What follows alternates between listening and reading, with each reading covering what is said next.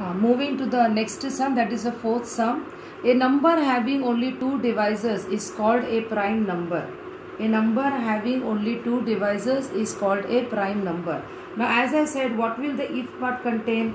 The if part will contain the content about which we are talking. So we are talking about a number who is having two divisors. Who is having two divisors. Then what will happen? That number we can call as a prime number. That number we can call as a prime number. So we can we we can write here if a number has if a number has only two divisors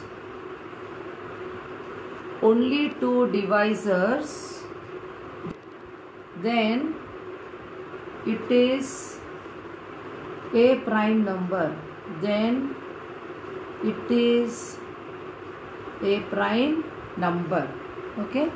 Now next is children homework 9 homework 9 is taken from problem set 1 homework 9 is taken from problem set 1 here what is given is on a number line problem set 1 question 2 on a number line coordinates of point p q r are 3 minus 5 and 6 3 minus 5 and 6 respectively state with reason whether the following statements are true or false now you can see in all the four statements we require four distances that is distance pq we require distance QR and we also require distance PR.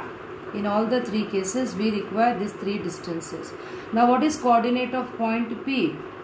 Coordinate of point P is 3 and coordinate of point Q. Coordinate of point Q is minus 5. So, 3 is greater than minus 5. So, 3 minus of minus 5. So 3 plus 5 is equal to 8. Let us find distance QR. QR, Q is minus 5 and R is 6. So distance is 6 minus of minus 5. 6 plus 5 which is equal to 11. And now let us find distance PR.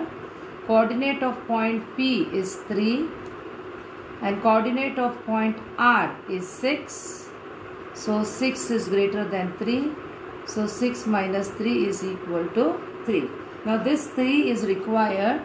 These 3 uh, distances are required for all the steps. And now I am going to do the fourth one.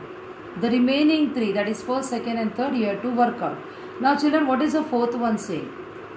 The fourth one is saying my left hand side. What is my left hand side?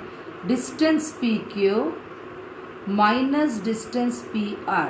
How much is PQ? 8 and how much is PR? 3. So 8 minus 3 we get as 5. My RHS. What is my RHS? distance QR and how much is distance QR? QR we got as 11. Now is 5 equal to 11? No. So the given statement is false. Your LHS and your RHS, you are getting different answers. So what will you write? Therefore, distance PQ minus distance PR not equal to distance QR. Not equal to distance QR. Therefore, the given statement is false. In the similar way, you have to also work out for the first, second and third. Now coming to solution of homework 8, you are asked to find distance between the points U and V. These are the coordinates and answer is 10. Distance PC, coordinates, answer is 6. Distance VB, coordinates, answer is 3. And distance between the points U and L, coordinates and answer is equal to 2. So please work out this uh, please work out these three sums in your notebook that is uh, this, uh, homework 9 first second and third whose solutions will be given in the next video okay